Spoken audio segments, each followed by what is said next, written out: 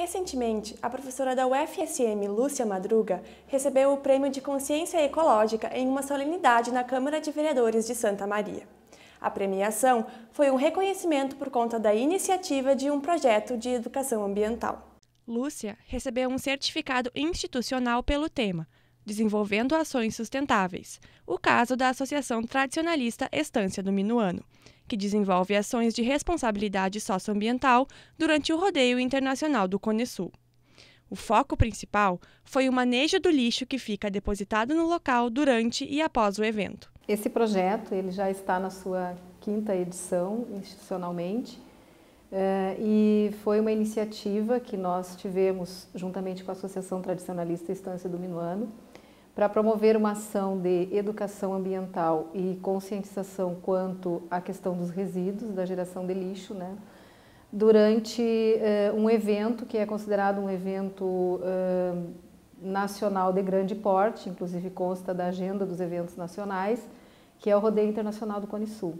Ele reúne um público bem expressivo de pessoas, né, uh, em dois grandes, gru grandes grupos, que são aqueles que fazem acampamento no rodeio e aqueles que circulam durante o evento nas imediações da Estância do Minuano.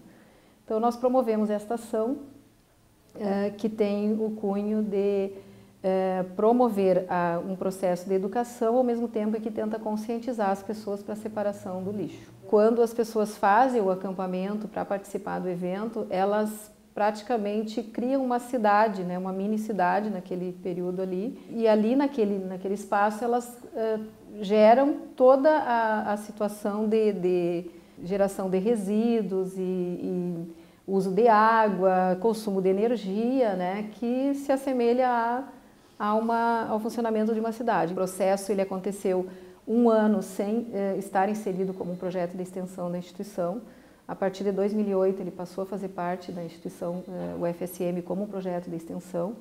Então, o grande movimento que se fez foi tentar trabalhar parcerias para que a gente viabilizasse as condições para o pro projeto acontecer.